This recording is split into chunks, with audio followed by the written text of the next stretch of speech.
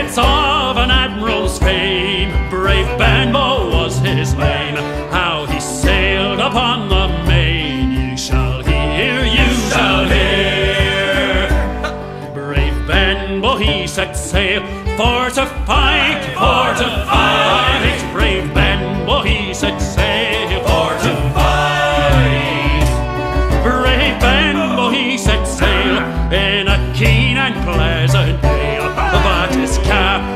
Captains,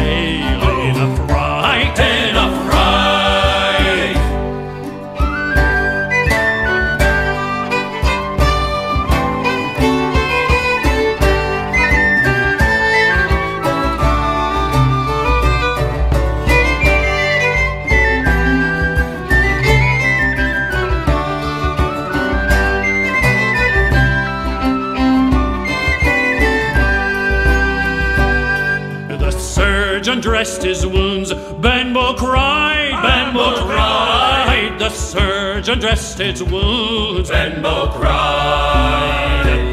Let the cradle now in haste on the quarter deck be placed, that the enemy I may face.